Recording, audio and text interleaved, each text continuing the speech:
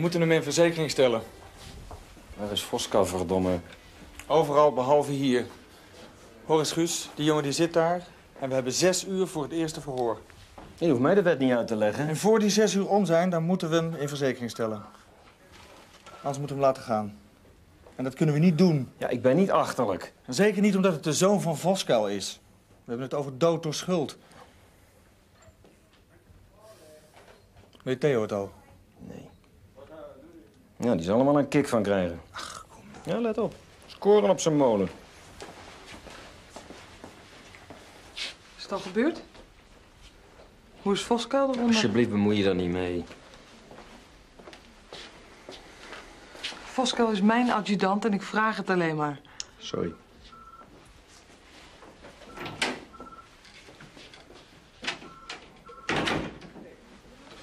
Is die een verzekering? Nee.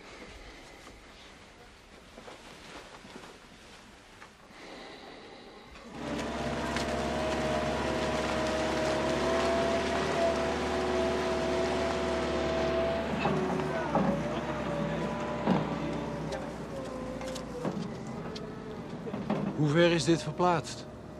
Hooguit een meter. Ik ben gestopt toen ik die schedel zag. En dit is een voetbalveld geweest, zeg je? Ja, volgens mij wel, ja. En een verdediger heeft een aanvaller eronder geschoffeld. Hè, Harry? Volgens mij zijn die botten minstens 50 jaar oud. Dat weet je maar nooit. Kruiflaan, dit is 1003. Zeg het maar, adjudant. Kan jij kijken of je iemand van de recherche hierheen kan krijgen, Marius? Dan moet ik wat anders gaan doen. Niks ervan. Ik wil dat je die sleuf afmaakt. Ik sta bij dat graafwerk aan de Meerdijk. Een kraandrijver heeft hier een skelet opgegraven. Maak er maar lijk van, want anders sta ik hier de hele dag. En geef het door aan de ROB. De ROB? Dat is de Rijksdienst voor Oudheidkundig Bodemonderzoek. Die waarschuwen we altijd in dit soort gevallen. Wat nou? Alles blijft zoals het is tot we het hebben uitgezocht. Moet je goed horen, vriend. Mijn bedrijf werkt met boeteclausules. En we liggen al achter op het schema. Het kost ons handenvol geld als wij dit werk niet op tijd afkrijgen. Dat is niet mijn probleem. Dus Bob junior, met zijn moeder en de advocaat, zitten al drie keer hier beneden. En jullie zijn eerst begonnen met je eerste verhoor. Hij is voorgeleid bij Peters. Stel hem dan in verzekering. Ik vind dat Bob er vanaf moet weten voordat we officiële dingen doen. Ik wil het niet achter zijn rug om doen. Dat kunnen we niet maken. Aha. En waar is Voskou? Geen idee. We hebben zes uur en er is al aardig wat van verstreken. Ik wil geen flauwekul. Oké.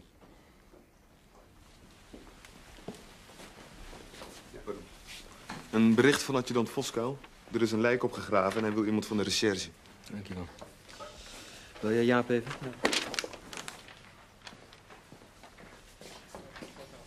Goedemorgen.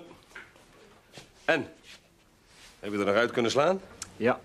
Mooi zo. En wie zat er in die auto? Bob Voskou. Junior.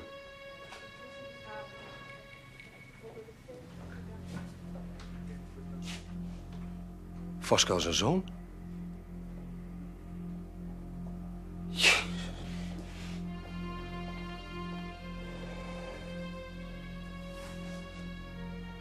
Weet Bob ervan? Tuurlijk. We hebben het Jog aangehouden. Waar is Bob nu?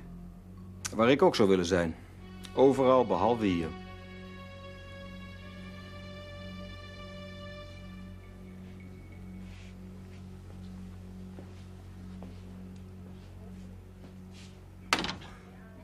Wil jij mij wijsmaken dat ik die hele handel plat moet leggen voor een paar oude botten?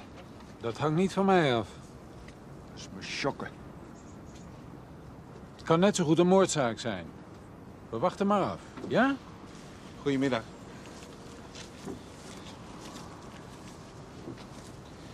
Jongen, is dat het lijk? Veel vrienden heeft hij hier niet. En we hoorden hier op de radio om de recherche vragen. Een beetje laat voor mond op mond. Ik dacht, we gaan maar even langs, aangezien je toch terug naar het bureau wil. Blijf er vanaf, Meijer. Ik kijk alleen maar even, adjudant. Bob, ik weet dat het beroerd voor je is. Maar je moet er toch bij zijn als een junior... Zorg dat iedereen hier met zijn poten vanaf blijft. Dat geldt voor elke diender, van welke rang dan ook.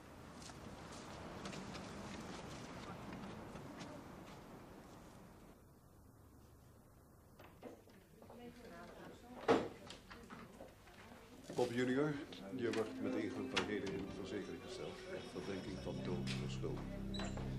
Je kunt hier 2 x 24 uur worden vastgehouden voor verdere verhoren. Desgewenst bijgestaan door je advocaat. En daarna word je overgedragen aan de officier van justitie. Ik wil graag je riem hebben.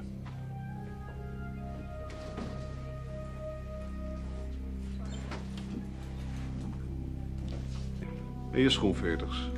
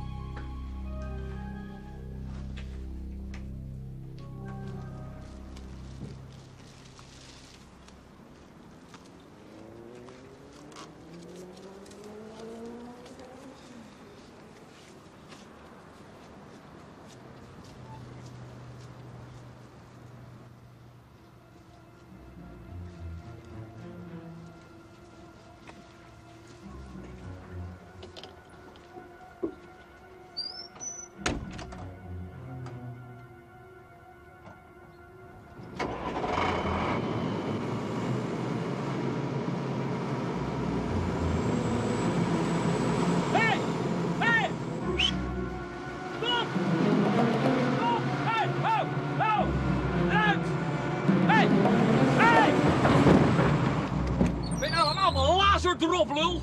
Ja, sorry hoor, ik zag je niet. Ik heb toch gezegd dat dat ding hier blijft staan? Ja, kom nou, weet je wat het kost? Ik arresteer je als je er niet uitkomt. Nu!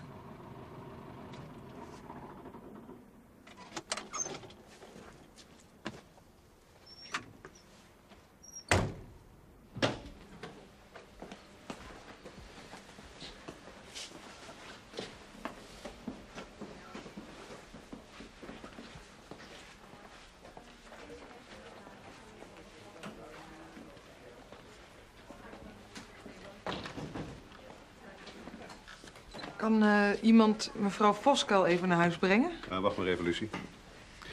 Bob, breng jij haar maar even thuis. Ze zit in je kamer. Ik heb dienst. Heb je een ogenblik, Bob?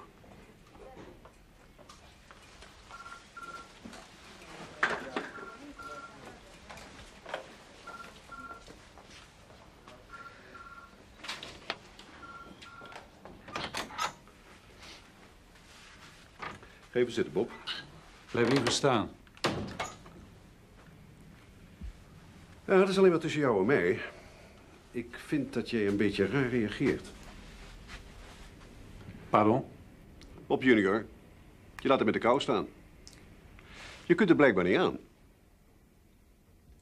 Neemt u me niet kwalijk, maar ik geloof dat dit mijn zaken zijn. Ik hoef jou toch niet te vertellen dat het goed functioneren van politiemensen meer dan wat ook afhangt van hun situatie thuis. Heeft u iets op mijn werk aan te merken? Maar schijn het toch uit met die onzin, Bob. Probeer je alleen maar te helpen. Mijn zoon zit in de cel voor een vergrijp dat het leven gekost heeft aan een jong, onschuldig meisje. Maar hij had niet de bedoeling om een misdaad te plegen. Dat is een hele troost voor de ouders van dat meisje. Jouw zoon is vooral schuldig aan het feit dat hij jong is. En onervaren. En in paniek raakte. En die combinatie heeft tot een tragedie geleid. Dat is niet voor de eerste keer. Maar waarom wil jij er met alle geweld meer van maken? Omdat je de zoon is van Bob Voskou? Dit zijn mijn zaken, meneer. Niet uw. Ja, het zijn jouw zaken en jouw problemen. En die van Bob junior, die zelf de gevolgen onder ogen zou moeten zien. Je zoon heeft je nodig. En je vrouw heeft je nodig. En ze hoeven niet extra te lijden onder jouw gekwetste trots.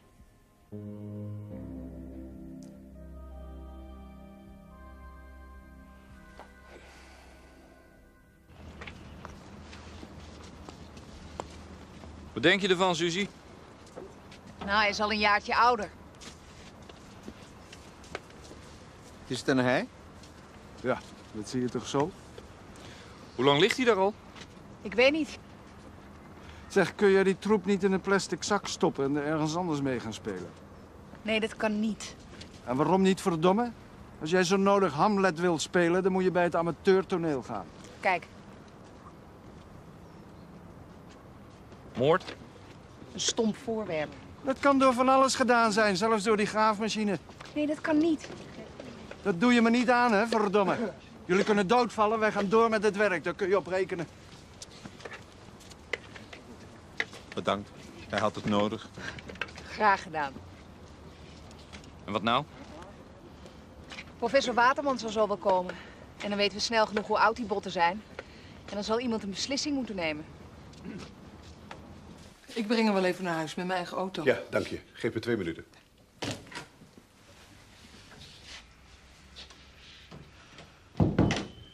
Is de advocaat weg? Ja, het spijt me, Eline. Ik heb met Bob gepraat, maar... eh Enfin, jij kent het beter dan ik. Ja. Nou ja, dat dacht ik tenminste. Hij heeft een beetje tijd nodig. We hebben allemaal tijd nodig. En elkaar. Dank je voor je steun. Ik wou dat ik meer kon doen.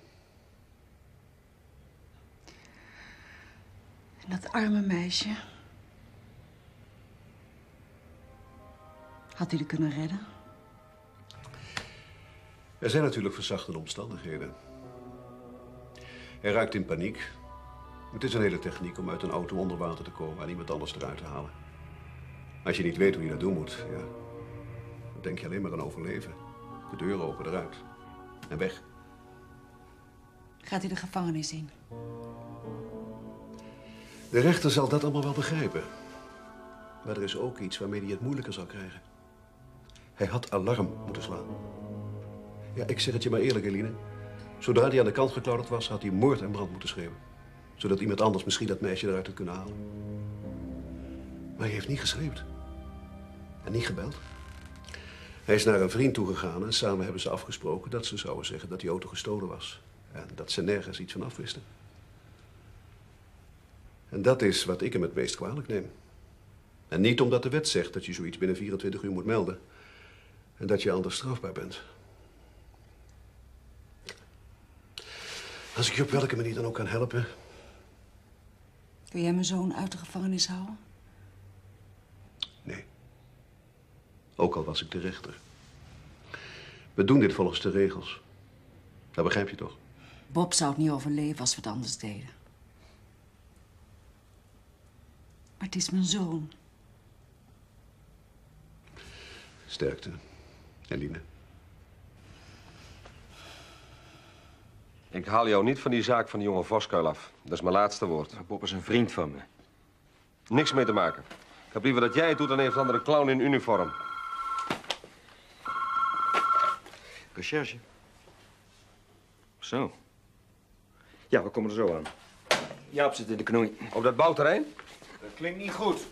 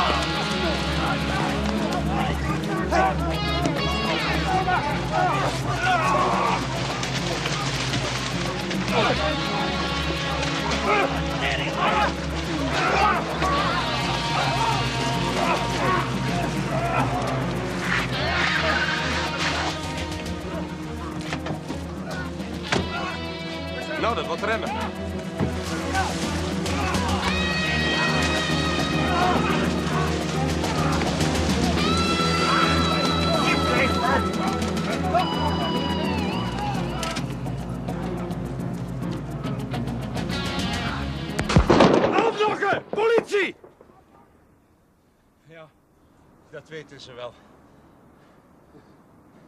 Kom! Kom hier, naar mee. Wat loopt hier in godsnaam zo uit de klauwen? Die klooiers probeerden die dreklijn in die sleuf te rammen. Waar is de baas? Die ging er als een aas vandoor. We voeren het hele stel af wegens belemmering en wat ik nog meer kan bedenken. Ja, wacht even, je hebt geen zaak, Theo. Hoezo? Je hebt dat toch een lijk? Ja. Volgens Suzy zijn die botten minstens 300 jaar oud. Ja, waar maken wij dan al die keet over? Ja. Die ploegbaas die begon moeilijk te doen terwijl we een beetje oplopen naaien. Dat het waarschijnlijk een moordzaak was en dat het nog wel een paar weken kon duren voordat hij weer aan het werk zou kunnen. Ja, we moesten toch op professor Waterman wachten. En waar is die? Nog niet gezien. Soms ben je een gigantische oen, Jaap Snijders.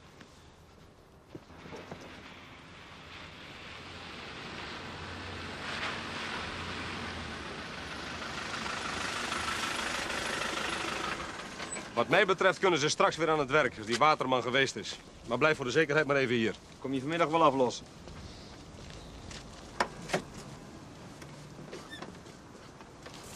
Wie is dat? Die ploegbaas, Baars. Waar jij dat gedonder mee hebt gehad? Ja. Spijt me, het was allemaal een vergissing. U mag meekomen naar het bureau. De jongens dachten dat ze zonder werk zouden komen als de boel platgelegd werd. Hij zei dat het weken kon gaan duren. Al zeg ik dat het jaren kan gaan duren, dan ga je toch nog niet op Je die manier... snapt het niet, man. Als wij een boete moeten betalen wegens te laat opleveren, gaat het bedrijf op de fles. Nou, dat zal zo'n vaart wel niet lopen, denk ik. Zal ik eens een voorstel doen? Vijf van uw mensen zitten vast op het bureau wegens belemmering van een onderzoek. Maar misschien kan ik de hulpofficier zo ver krijgen dat we kunnen volstaan met een negatief aanhoudingsbevel. Een negatief wat? Aanhoudingsbevel. Dat moeten ze dan tekenen, zodat we later geen schadeclaims krijgen. En nog wat van die onzin. Wat mij betreft kunnen ze dan terug. U bedoelt dat wij weer aan het werk kunnen? Precies. Nadat die professor Waterman geweest is. En ondertussen doet u precies wat die rechercheur daar zegt, ja? Wat kan ik hierop nog zeggen? Dat ik te goed ben voor deze wereld misschien?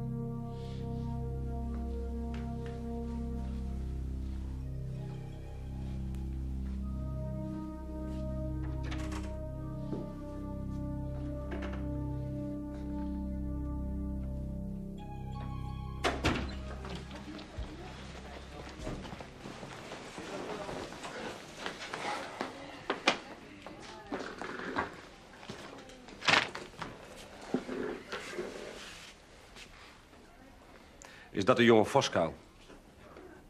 Nou, wat mij betreft kan het zo in de ijskast. Als hij straks naar de officier gaat, dan wil ik geen gefluister horen dat we hem te zacht hebben aangepakt omdat het de zoon is van een politieman. Nou, nou toch op. Ik waarschuw je alleen maar. Voskuil zou het niet anders willen. Hoeft niet achter mijn rug te kletsen. Wat zeg je? Je verstaat me best. Je vergis je, Bob. Als ik jou wat te zeggen heb, Voskuil, dan doe ik dat wel recht in je gezicht. Hoor wie het zegt. Misschien wordt het tijd dat iemand jou een paar dingen aan je verstand gaat brengen. Jongens, dit is echt belachelijk. Laat hem maar praten. Daarbuiten zijn honderden families wier zonen achter de tralies gaan. Elke dag van de week. En die hun gezin niet behandelen als poep onder de zolen zoals jij doet. Oké, dan heeft Junior je één keer in de kou laten staan. Dan is hij eens één keer niet de volmaakte kopie van de volmaakte Voskuil. So what? Dat is verdomme wel je zoon. Is dat alles? Wat is belangrijker voor jou? Je gezin of wat je collega's van je denken?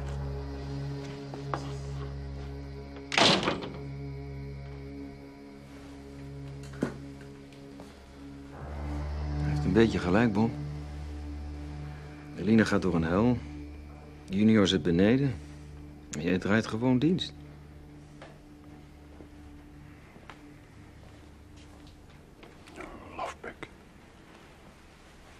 Ja, goed meneer. Dan doen we het zo. Bedankt.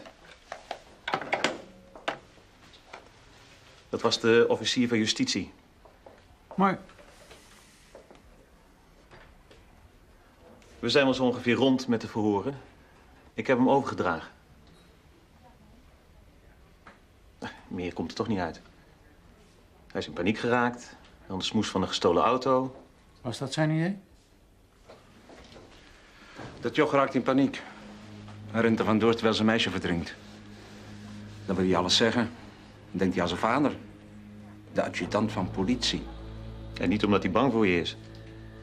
Hij zou maar wat graag een pak op zijn donder van je krijgen als hij daarmee van zijn schuld afkwam. Maar ja, zo gemakkelijk ligt dat niet.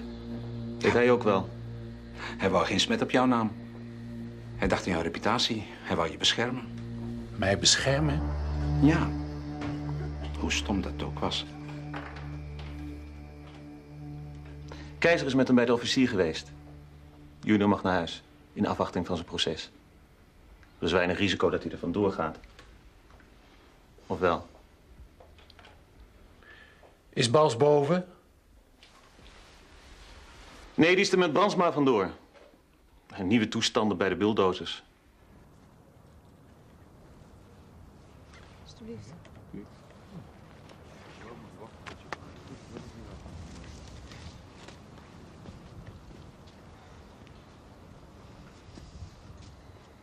Wat krijgen we nou? De zwarte dood. De wat? De pest. Je weet wel waar ze in 14 zoveel als ratten aan stierven. Ook in Amsterdam. Bedoel je dat dit een van die massagraven is? En volgens professor Waterman hier is dit exemplaar van uniek historisch belang. Pestleiers uit de 15e eeuw. Ja, dit is echt heel bijzonder. Waterman wil de rechter vragen om de werkzaamheden hier stop te zetten. Voor archeologisch onderzoek. Nou, jij weer.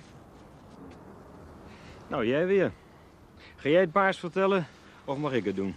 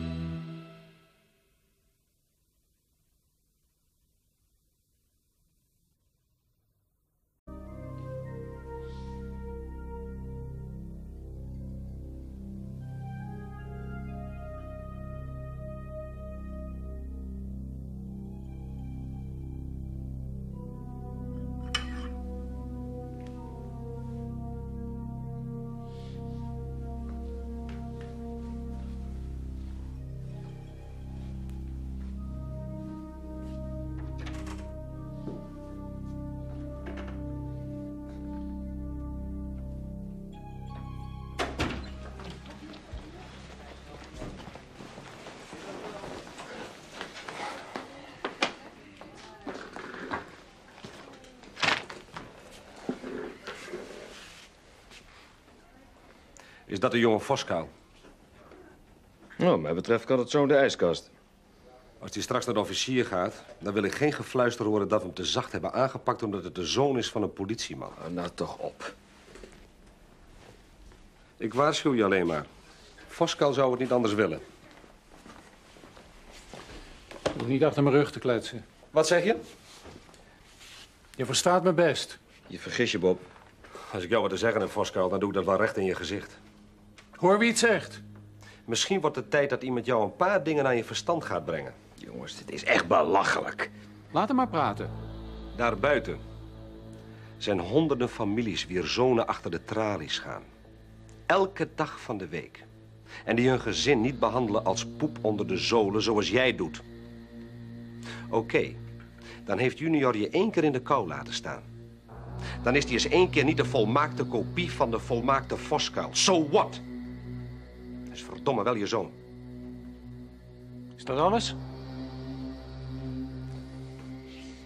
Wat is belangrijker voor jou?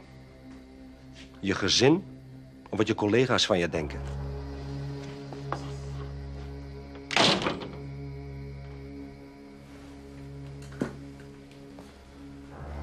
Hij heeft een beetje gelijk, Bob.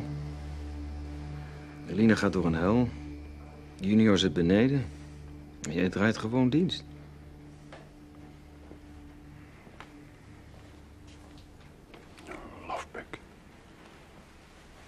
Ja, goed meneer. Dan doen we het zo. Bedankt. Dat was de officier van justitie. Maar We zijn wel zo ongeveer rond met de verhoren. Ik heb hem overgedragen. Meer komt er toch niet uit. Hij is in paniek geraakt. Dan de smoes van een gestolen auto. was dat zijn idee?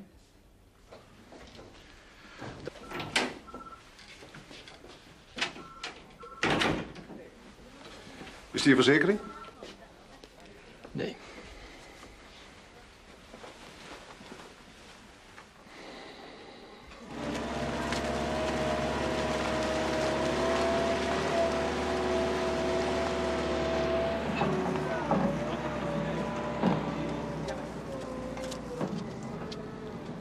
Hoe ver is dit verplaatst?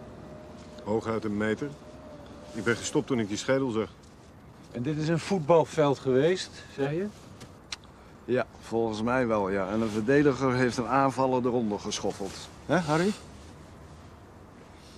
Volgens mij zijn die botten minstens 50 jaar oud. Dat weet je maar nooit. Kruiflaan, dit is 1003. Zeg het maar, adjudant.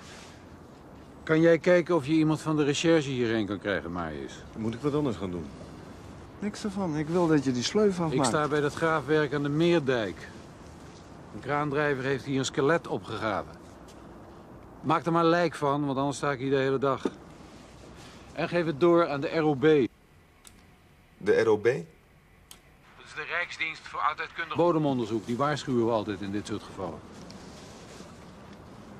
Wat nou? Alles blijft zoals het is tot we het hebben uitgezocht.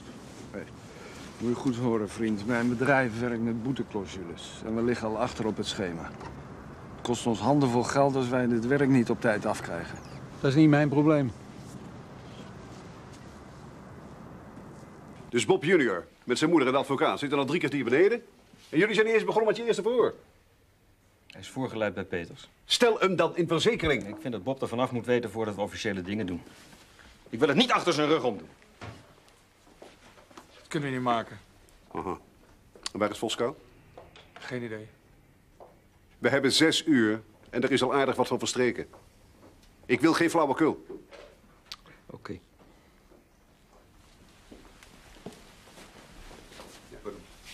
Een bericht van adjudant Voskuil. Er is een lijk opgegraven en hij wil iemand van de recherche. Dankjewel. Wil jij Jaap even?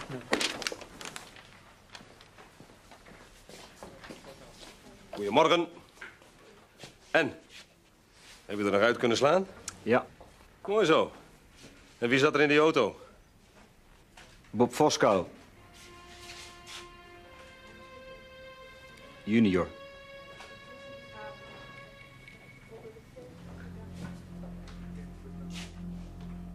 Voskou zijn zoon?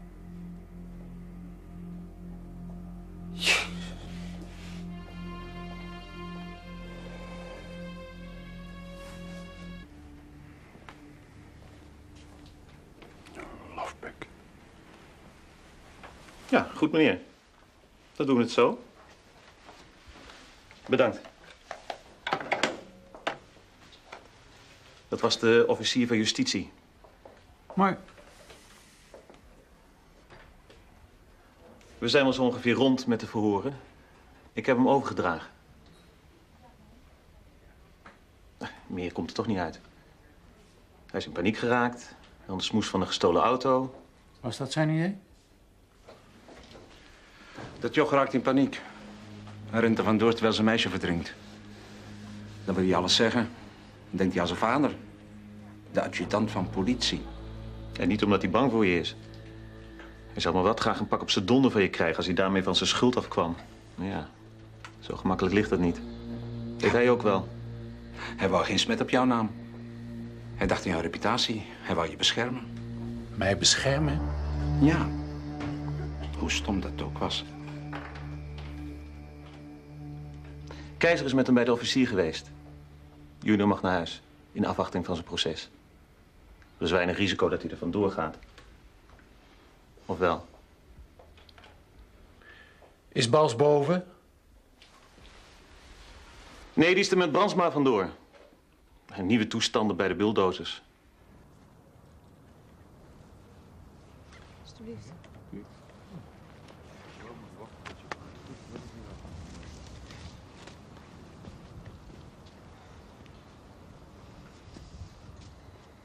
Wat krijgen we nou?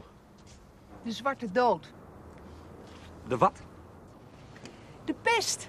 Je weet wel, waar ze in 14 zoveel als ratten aan stierven. Ook in Amsterdam. Bedoel je dat dit een van die massagraven is? Ja. En volgens professor Waterman hier... is dit exemplaar van uniek historisch belang. Pestleiers uit de 15e eeuw. Ja, dit is echt heel bijzonder. Waterman wil de rechter vragen om de werkzaamheden hier stop te zetten. Voor archeologisch onderzoek. Nou, jij weer. Nou, jij weer. Ga jij het paars vertellen of mag ik het doen?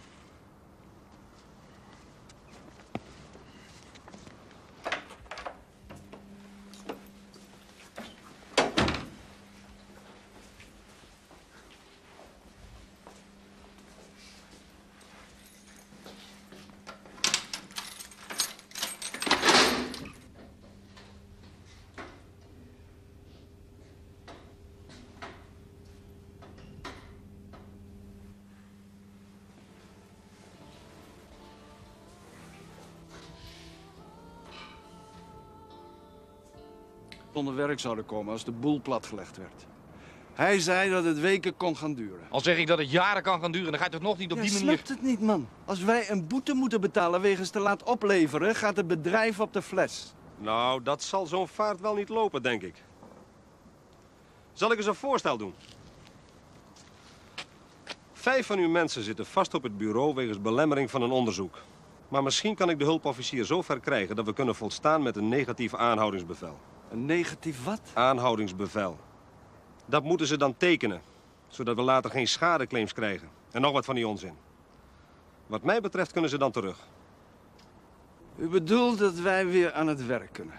Precies.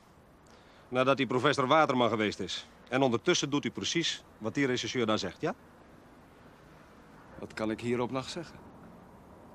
Dat ik te goed ben voor deze wereld misschien?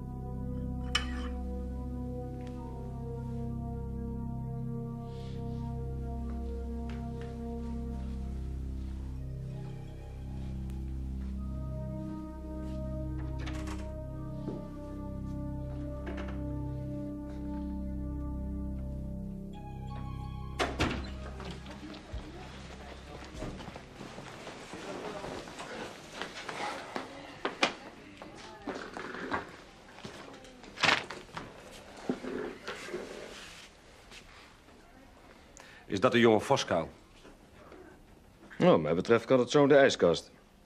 Als hij straks naar de officier gaat, dan wil ik geen gefluister horen dat we hem te zacht hebben aangepakt omdat het de zoon is van een politieman. Nou, toch op. Ik waarschuw je alleen maar. Voskuil zou het niet anders willen.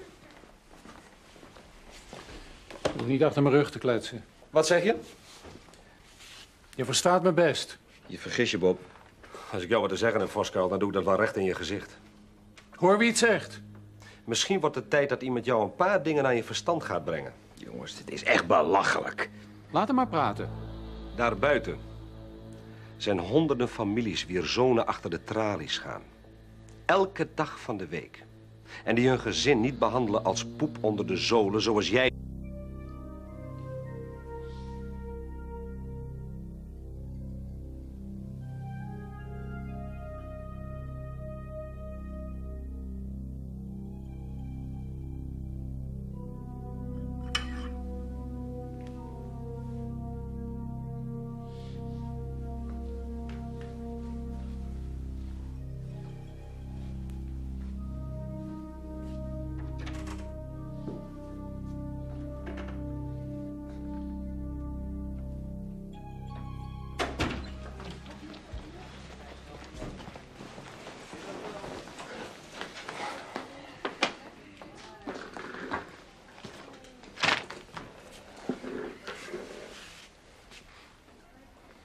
Is dat de jonge Voskuil?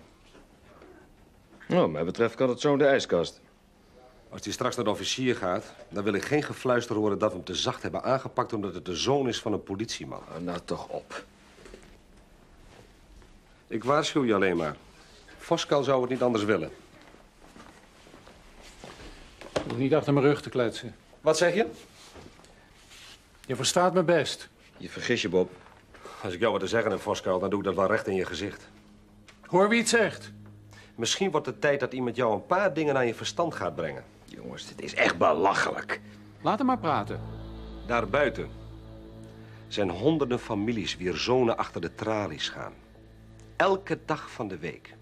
En die hun gezin niet behandelen als poep onder de zolen zoals jij doet. Oké, dan heeft junior je één keer in de kou laten staan. Dan is hij eens één keer niet de volmaakte kopie van de volmaakte Voskuil. So what? Is verdomme wel je zoon. Is dat alles? Wat is belangrijker voor jou? Je gezin of wat je collega's van je denken?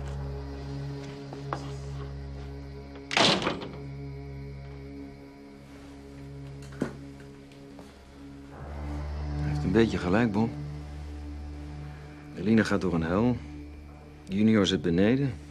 En jij draait gewoon dienst.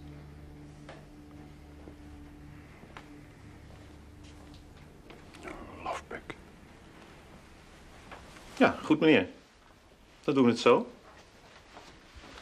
Bedankt. Dat was de officier van justitie. Maar We zijn wel zo ongeveer rond met de verhoren. Ik heb hem overgedragen. Meer komt er toch niet uit. Hij is in paniek geraakt. Dan de smoes van een gestolen auto. was dat zijn idee? Soort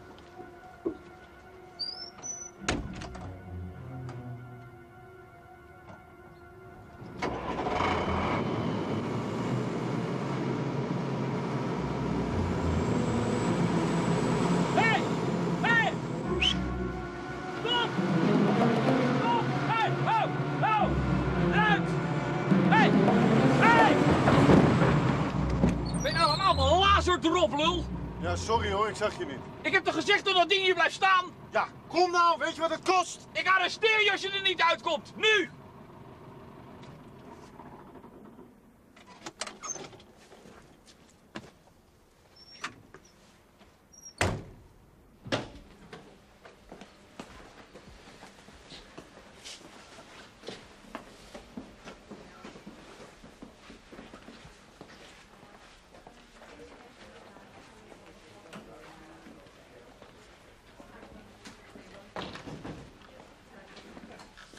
Kan eh, iemand mevrouw Voskuil even naar huis brengen? Ah, wacht maar even, Lucie.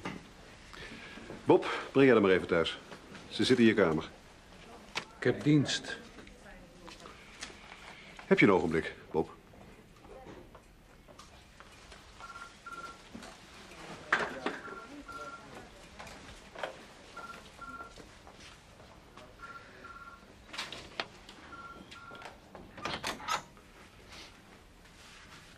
Ga even zitten, Bob. Blijf liever staan. Ja, dat is alleen maar tussen jou en mij. Ik vind dat jij een beetje raar reageert.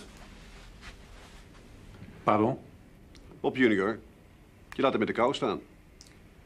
Je kunt er blijkbaar niet aan. Neemt u niet kwalijk, maar ik geloof dat dit mijn zaken zijn. Ik hoef jou toch niet te vertellen dat het goed functioneren van politiemensen meer dan wat ook afhangt van hun situatie thuis. Heeft u iets op mijn werk aan te merken? Maar schijn het toch uit met die onzin, Bob? Probeer je alleen maar te helpen. Mijn zoon zit in de cel voor een vergrijp dat het leven